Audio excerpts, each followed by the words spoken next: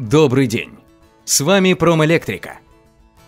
Предлагаем экранированный индуктивный датчик с дистанцией срабатывания 2 мм в цилиндрическом корпусе М8. Особенности датчика. NPN – выходной сигнал минус. Электрическая схема 1NO.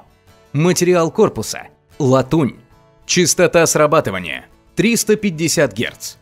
Степень защиты – IP67. Корпус пыленепроницаем и защищен на случай кратковременного погружения в толщу воды. Присоединение. Разъем М8 пин. Рабочая температура. От минус 20 до плюс 70 градусов.